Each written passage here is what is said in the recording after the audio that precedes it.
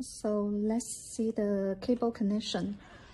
Mixture of the, the fuel sender and the FM101 and the fuel gauge are shared with the send power GND and the power plus. And the yellow cable from the FM101 connects to the fuel sender and the brown cable to the fuel gauge. And here is the button full full button and the half button and the empty button. And here is the calibration screw. Let's go to setting. First, we press the full button first, and then we power on the device. It will enter the setting mode. The red LED will stay on. Let's start the calibration.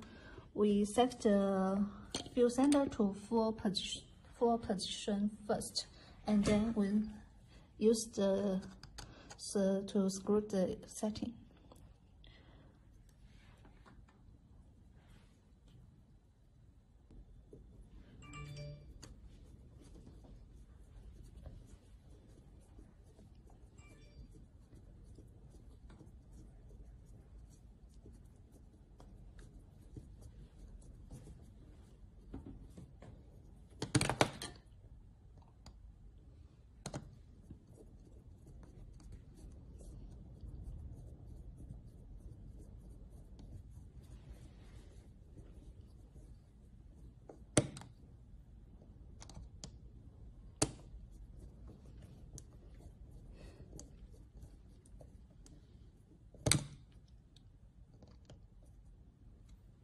Okay, we make it to the full position and then we press the full button again.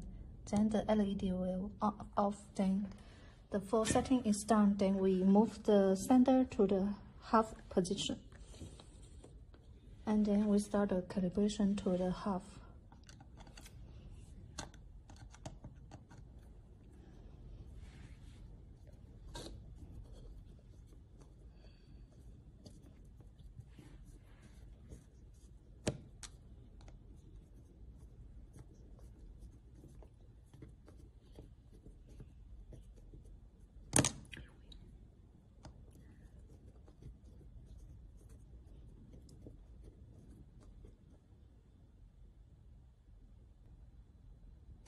Okay, the half setting is done.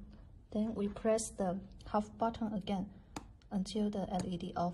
Then the setting is done. Then we move the fuel sender to the empty position and start the calibration again.